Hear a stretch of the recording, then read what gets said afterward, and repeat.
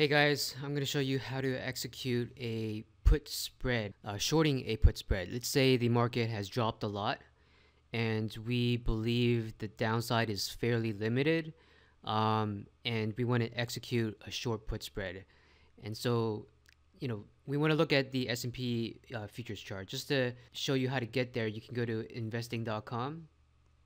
Um, that's, uh, here we have investing.com and what you do is you go into indices futures.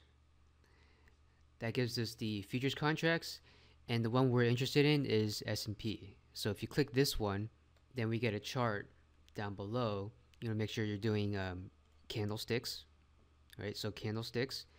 Uh, we look at say the five-hour chart, and so you know this is the beginning of 2016. It, it dropped a lot, and let's say you know we don't think it's gonna go below 1990-ish or 1890 um, at this point.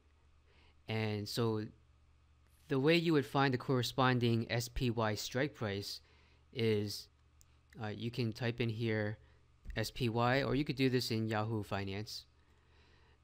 You get the the ticker for the chart for SPY and then you look basically this dropped from 20 something all the way down to around this area we think it's going to stay below uh, above 190 then that's the, the strike you want to short. So you want to short the 190 strike and then buy the 187 strike. So how would you do this on your mobile app? So basically this uh, you go into the interactive brokers or whichever um, you know whichever one you have and what you could do is you go into the watch list area which is here and go into the add contract area. So you add contract. So you can type in SPY and then you want the option chain strategy builder. So you wrote that rotates your device and there's different expirations up at the top. This is where it's currently trading. Um, yellow meaning yellow box meaning it's delayed, but that's basically where it's trading. And we talked about the 190 and 187 puts. So the puts are on the right side, the calls are on the left side.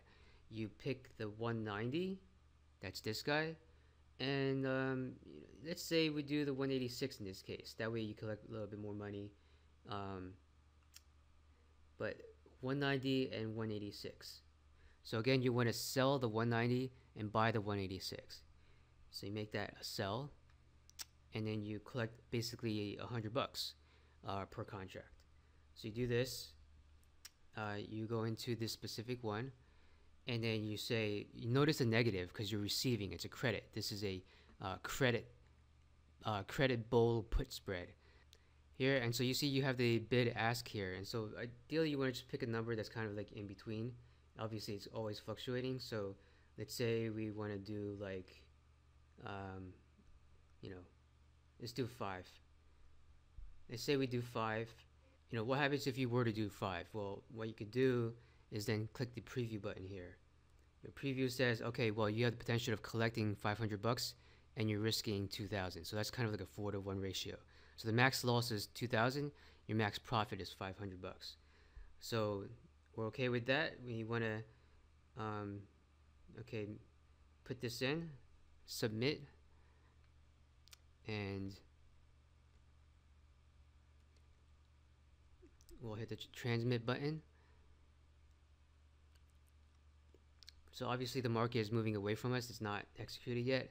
If um, if you're you know if you if you want this trade to go through, you might want to kind of adjust the numbers such that it'll go through. So maybe make it 1.02. You know, so that's us at 1.02.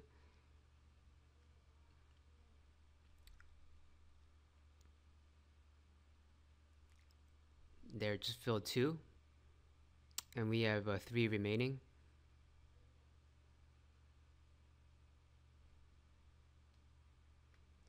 Uh, yeah, yeah there we go. It executed uh, all five. All right so now we can you know go back to our watch list and go to this specific one. All right so this this is the one that we just bought. We bought five at 1.02 uh, you can click leg details and so that tells you what you just bought. So as long as this 1.02, this minus 1.02 trends down towards zero, then then you're collecting money. If this number increases, if it goes to like minus 1.5, then you start losing money. Or not start losing money, but that's when you're losing money. And so the the bet here is as long as SPY stays above your short strike, right? You're shorting the 190 strikes. As long as SPY stays above that by expiration, uh, January 15th, then you'll collect the maximum profit of 500 bucks. Um, if it goes against you into the, you know, your, your max loss, if it goes to like say 186, your max loss would be $2,000. So that's how you execute a uh, short put spread on the SPY.